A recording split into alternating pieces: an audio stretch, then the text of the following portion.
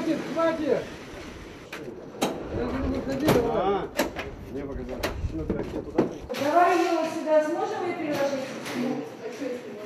Давайте.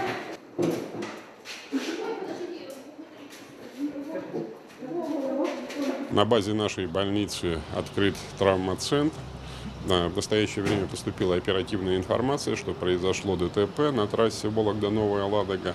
Соответственно, все службы сработали достаточно оперативно. Данная информация у нас появилась еще э, до э, поступления первых пациентов. И в настоящее время э, все э, специалисты, которые работают на базе травматологического центра, это врачи э, приемного отделения, врачи отделения реанимации интенсивной терапии номер один, врачи отделения сочетанной травмы, э, готовятся к приему пострадавших. На этапе э, приемно-диагностического отделения будет произведена сортировка, необходимые э, диагностические манипуляции и обследования, которые максимально приближены к пациенту. Это концепция травматологического центра реализована на практике. И затем уже они будут э, при необходимости госпитализированы в то или иное э, подразделение травматологического центра.